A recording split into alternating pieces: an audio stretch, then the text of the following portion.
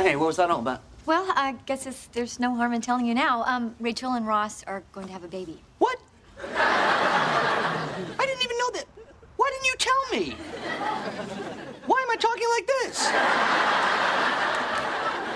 I didn't think you could keep it a secret.